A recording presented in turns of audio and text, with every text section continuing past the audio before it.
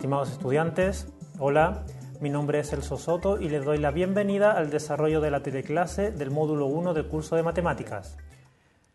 Los ítems de alimentación, gastos básicos, arriendo de carrito y locomoción no varían, así que se mantienen respectivamente en 90.000.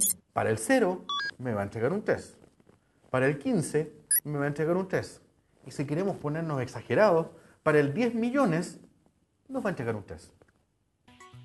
En el caso del costo histórico, no requiere dicho ajuste. Y en el caso del costo estimado, puede costar.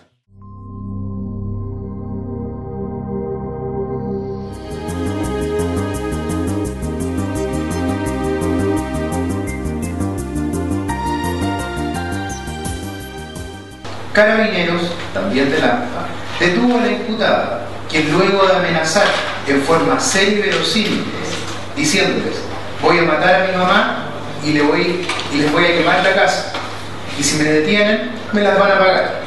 La primera es que tiene que firmar cada 15 días un registro de la tenencia de carabineros de huertos familiares. Sí, pues su mamá. Eso mentira. Cuando la hija no la quiere ver, datos antropológicos, ya como eh, las estructuras familiares, los tipos, los tipos de familia que existen, etcétera, etcétera, o los tipos de eh, relaciones o hitos eh, culturales, ritualistas incluso, folclóricos, lo económico, ¿cierto? Cuáles son las actividades productivas, mercantiles,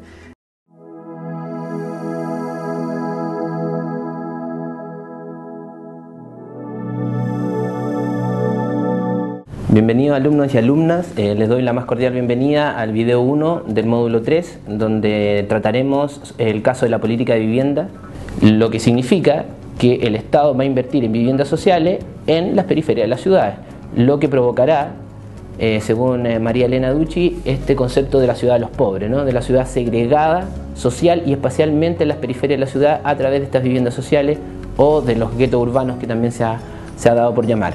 De este modo y para finalizar, podemos ver que una política pública, en este caso de, de la vivienda, evolucionó de conceptos de calidad, o sea, de cantidad en, prim- en sus primeros años, después evolucionaron a los conceptos de cobertura, eh, ahora tenemos el concepto de calidad y de integración social. Entonces, eh, ustedes pueden registrar aquí los datos y ir viendo según la política que ustedes tengan acá, para poder ajustar las cuentas y cuáles serían los montos. Esto se puede hacer manual también. Vamos a suponer que en la empresa B aumentamos las ventas, por ejemplo, en un eh, 10%. Se le va a desplegar qué cosa? El nuevo escenario de lo que estamos viendo recién,